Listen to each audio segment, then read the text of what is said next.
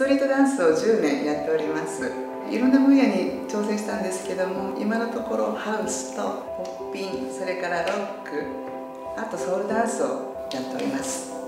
いろいろなライブに行ったりその時の DJ タイムですねで踊ったりしてます。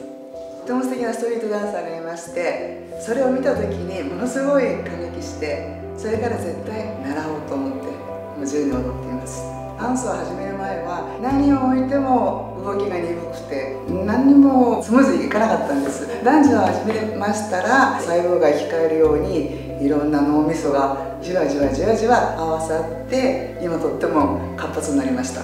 もうダンスの方は体が動く限りずっと踊りたいです。で目標っていうのはやっぱり一つ一つを自分のものにしたいので練習していきたいと思います。あのやっぱりダンスを通じて最初は絶対無理だと思ったものがずっと続けたことによって本当に見られるようになったんですね。だから本当に継続は力なりと思いました。